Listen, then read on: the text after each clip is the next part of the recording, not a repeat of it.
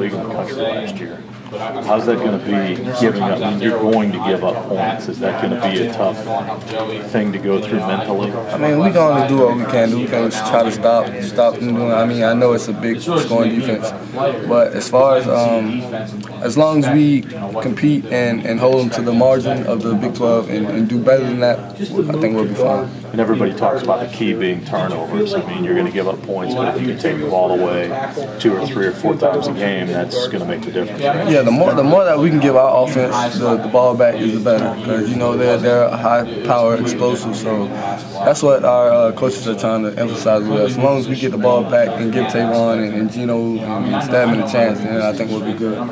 You and Pat are kind of looks like settled in as the starters. Who do you think is competing most strongly to back you guys up? Uh, I really like Rumph and, and, and Nana. They're they're really getting some good reps, and I feel like they're uh, right now competing to be able to get in and, and, and, play and travel. So they are the most that are sticking out right now. And you know, Cecil, Cecil, he's been here and he's been uh, doing good too. So I feel like we have a, a good group of uh, guys that are going to be able to rotate and, and, and, really give us. Did you guys work on third down, the packages, extra defensive backs, things like that? Yeah. Uh, I think we just started putting our, our uh, dime and nickel package in. So um, we're really trying to get things rolling again. So uh, I feel like uh, depth is going to really help this year.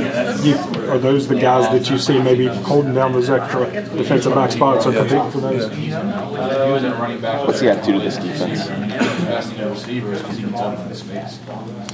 I feel like we just want to be able to go out there and compete, and our attitude is just uh, try to be be nasty, you know, try to um, fly around, be, be explosive, be fast. That's what we're trying to look for with all the attention that, that your offense has gotten, it's, it's, not pitting one side against each other, but with all the attention the offense has gotten in this offseason, do you feel like you guys have something to prove? Do you want to come out and, and make a statement like we're here too? We really do, we really do. But uh, I mean, that's that's the game. We know that the offense is going to get most of the hype. So, but we just going to do what I do, and we know that the offense can't work without us, and we can't work without them. So that's all a team thing. We're just going to try to sit here and compete and, and get each other better. Thanks.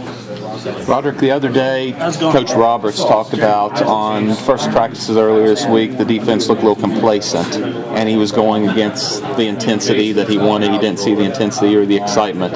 I saw you on Monday actually getting into the face of some of your fellow defensive backs, trying to get them pumped up.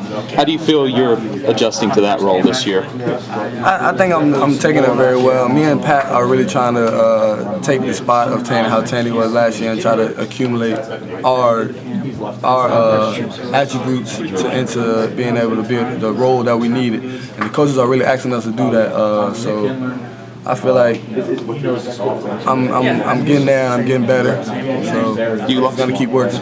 You like